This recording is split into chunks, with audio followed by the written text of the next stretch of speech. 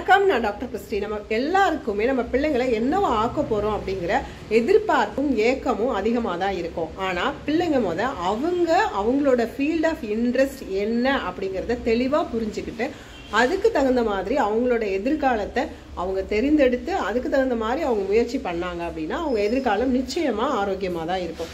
ஏன்னா எனக்கு ஒரு பேஷண்ட் வந்தாங்க. அவங்க என்ன சொன்னாங்க அப்படின்னா மேம் என் பையன் வந்து சிலம்பத்தில் வந்து அந்த மாதிரி நிறைய ரெக்கார்ட்ஸ் வச்சுருக்கான். அப்படின்னு சொன்னாங்க. ஓகே மேம் ரொம்ப சந்தோஷம். நீங்கள் அவனை வந்து என்கரேஜ் பண்ணுங்க அப்படிங்கிற மாதிரி நான் பேசிகிட்டு இருந்தேன். அப்புறம் அவங்கள பற்றி பேசும்போது அவங்க சொன்ன ஒரு விஷயம் என்னென்னா நான் வீட்டுக்குள்ளே எப்போ பார்த்தாலும் கத்திக்கிட்டே இருப்பேன் அப்படின்னாங்க. ஏன் அப்படின்னா மேம் அவனுக்கு சிலம்பத்தில் பயங்கர இன்ட்ரெஸ்ட் இருக்குதான்.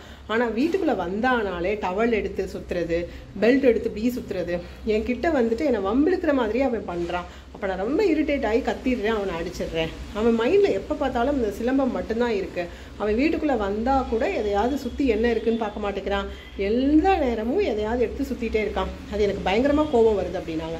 இது ஒரு சின்ன எக்ஸாம்பிள் தான்.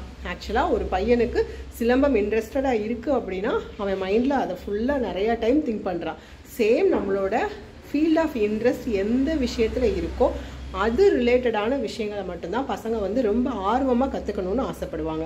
ஸோ நம்ம வந்து பிள்ளைங்களை வந்து அவங்க இன்ட்ரெஸ்டே இல்லாத ஒரு ஃபீல்டில் போய் நம்ம படிப்பு அப்படிங்கிறது மூலமாக திணிச்சோம் அப்படின்னா அவங்க அதை புதுசாக லேர்ன் பண்ணுறதுக்கு மெனக்கிடுறது கண்டிப்பாக குறையும். அது வந்து நம்ம ஃபோர்ஸ் பண்ணுறோங்கிறதுக்காக வேணால் படிக்க உட்காருவாங்களே தவிர்த்து அவங்களா வந்து ஃபுல் இன்ட்ரெஸ்ட் எடுத்து படிக்க மாட்டாங்க. இல்லை ஐயோ அந்த கோர்ஸை ஜாயின் பண்ணிட்டோம் படித்தே ஆகணுமேங்கிற ஒரு கட்டாயத்தின் பேரில் படிப்பாங்களே தவிர இதே இது அவங்க ஃபீல்ட் ஆஃப் இன்ட்ரெஸ்ட் எதில் இருக்கோ அதில் நம்ம போய் விட்டோன்னா நம்ம வந்து படின்னு சொல்லவே வேணாம். அவங்களே வந்து அது ரிலேட்டடாக உள்ள விஷயத்தை தேடி தேடி தேடி தேடி படிப்பாங்க.